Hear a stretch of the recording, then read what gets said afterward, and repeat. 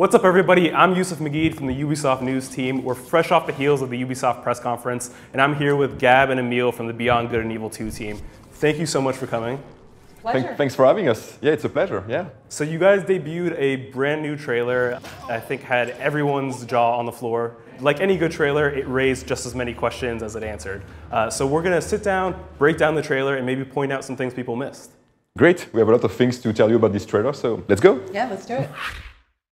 Okay, so first thing we see here is this galaxy. Uh, obviously, we're in space. Um, what exactly are we looking at here? The idea is that the area of the game Beyond Good and Evil 2 is going to take place in a very strange place where two galaxies are colliding and you know like kind of mixing with each other.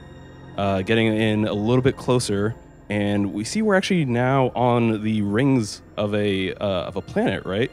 Yeah, it, it, it's a, it's actually a pretty incredible scene because the um, uh, the asteroids that we see are so big that some of them uh, are as big as mountains. So you've got planetoids and and it's a huge uh, ring of icy asteroids, and, and that's what gives you the impression that you're sort of going through the middle of a fjord or something like that. That's one of the things that we really wanted to take our time with and let people sort of immerse themselves in this notion of the vastitude of this huge universe that we're going to be playing in. Yeah, so from the vastitude, I love that word, uh, down to you know the the microtude maybe. Uh, we have here um, a, a, look at a brand new character and what's a good space opera without characters. Uh, so maybe you could tell us a little bit about who this is. Yeah, and as you know, uh, characters are the real heart of uh, Beyond Good and Evil, and we're taking a look at one of the uh, the newest officers. This is the chief medical officer, and her name is Uma, and uh, she's this really interesting character, sort of a dubious oracle. And as you can see, she's um, she's uh, marked with. religious markings, which represent the fact that she's a devotee of Shiva, and, and so you can see from the way she's she's dressed and all of the, the beads that she's wearing, these are actual Hindu prayer beads that she has Indian origins. There's a huge connection with uh, technology and religion in this world, right? Can you, can you talk a little bit about what she's doing? Yeah, I think what we're trying to show here is that uh, in the far future, despite the fact that our characters are very attached to their um, original cultures from Earth, they obviously have very high tech um, and, and, in this particular instance, Uma is using um, high-tech acupuncture needles. They are turning red because they are um, seeing, you know, the intoxication in the blood of the pirate. He's been putting those needles into. We'll soon discover that the whole crew is actually dead drunk. Cook, do you hear me? And so we get our first glimpse of who she's talking to, a familiar face. I think last year people sort of thought that uh, when they saw Zuyu 2, the uh, the the big hybrid from the criminal underworld that uh, that perhaps that was Pey'j. So it's pretty cool this year that uh, it actually is Pey'j. We're super excited about about um, being able to reveal the fact that he's going to be in Beyond Good and Evil too. So here, of course, Knox is also dead drunk, so just victim of Pey'j cooking also. And what I love now is that we get sort of an idea of the dynamics going on with the crew. Um, we saw Pey'j, we saw Uma, we see Knox sleeping up in the watchtower, and then Shani here sort of circling patrol. Yeah. Um, uh, so again, the the crew is is a really vital part of uh, the gameplay, uh, and so as a captain, we're going to be able to recruit our own crew, and it's the crew that's uh, going to allow us to develop um, our our equipment, the equipment of our our ship, our mothership, and also our other ships. And here we have a brand new character as well. Who's this guy? Uh, so this guy, his name is Callum, and he's got this amazingly sexy Scottish accent, and and he's our chief uh, engineer uh, in the game, and he's he's just having a little game of chess with uh, his favorite partner. And here we have character we're calling the Skull for now, which is the AI of the of the ship. If you remember the trailer from last year, we were also seeing this Skull in the um, in the command uh, deck of the of the Gala. So you can imagine that this girl is at different location in the ship, but it's always the same AI uh, behind uh, this uh, character. Keep laughing, fools. And here, let's be very clear: all these bottles are bottle of rum. They're all alcohol. Pey'j has nothing else to put in his uh, dishes, so that's why most of the time the crew ends up dead drunk. But we think that this bottle is pretty special. It, maybe it's uh, best rum, actually.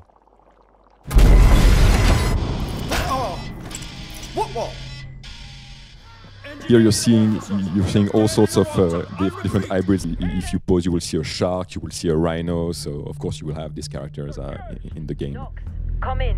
What have we got on the scanners? Even if Knox is kind of a goofy character, he's actually very good at his job being in the crow's nest because he's going to spot the wave first and you don't even see the wave at that point. He has very keen eyes and he, and he knows that something wrong is happening and coming towards the ship. So now we see as things start to go wrong, Shani's sort of separated a bit from her ship and she has to rush back. This is something that I know uh, is th- things that players are going to be able to do, right? Jump out of their mothership, jump onto you know their own ship, and fly around. That, is that right, Emile? Yeah, the, one of the key elements in our game is really the seamless aspect of the gameplay. At any point, when you're flying in space or above a planet, you can jump out your uh, or your, out your, your spaceship and start flying with your jetpack and go inside another spaceship, board inside the spaceship, take the control of this ship. So everything is seamless. At any, at any point, you can do those, those things in the game. Yeah. You can go from the, the smallest, most intimate space uh, in the game to the ends of the galaxy uh, without a single transition, and that's the real power of our uh, Voyager engine. Okay, so this is a really interesting part. We've already met pretty much all these characters. So who's exactly in the middle here? Uh, that's Dakini, who is uh, at the helm.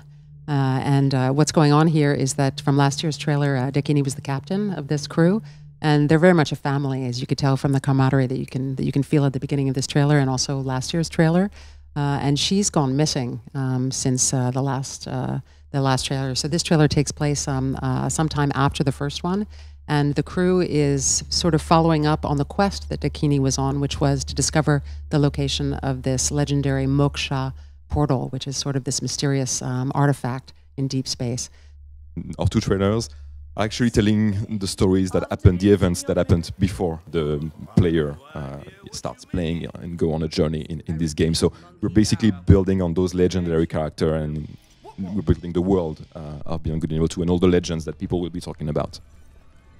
So here, I think we finally get a sense of scale that's even greater than our already massive mothership here. Yeah, we can't say too much about this mysterious, uh, massive spaceship, but as you can see, it's huge. It's far bigger than the Gala. Is already huge. Uh, the Gala is already, you know, 500 meters long, so you can imagine actually the size of these huge, massive things. And uh, the two massive arms of these ships are actually used to board other spaceships. Uh, the troops, they will be, you know, moving inside those arms to board and get inside uh, the Gala, actually.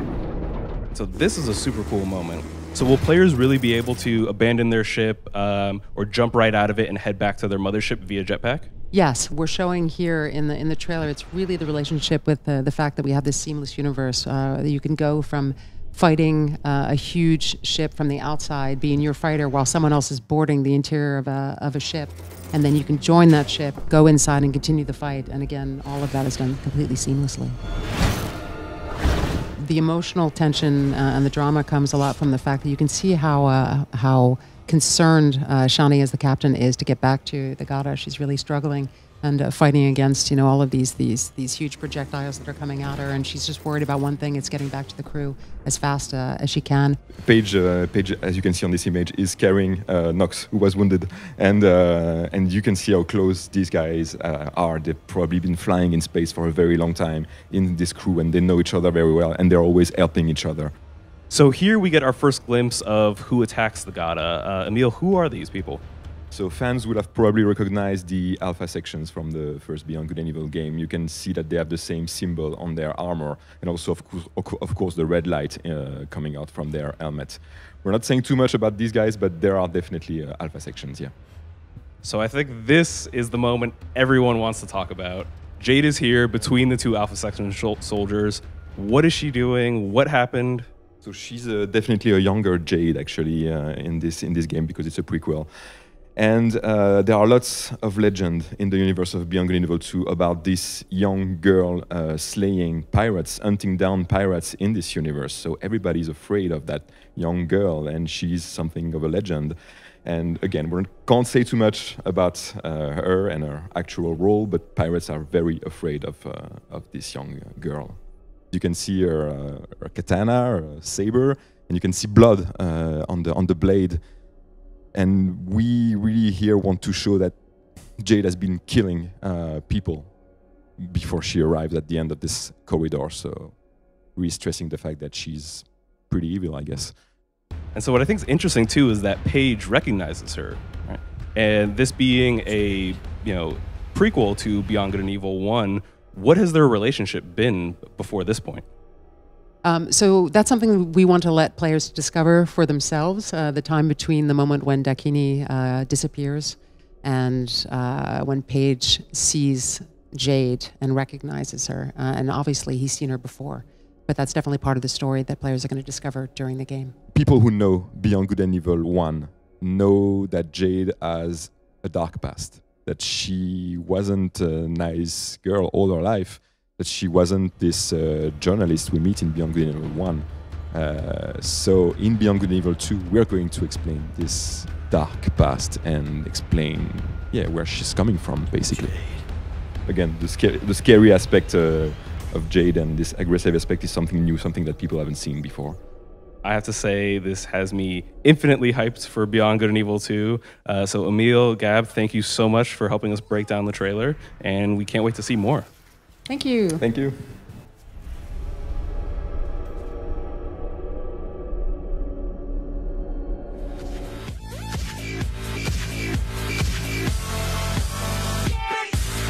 Like and share if you enjoy the video and think others might benefit from this. And of course, subscribe and hit the notification button if you are new to the channel and want to be notified every time I post a video.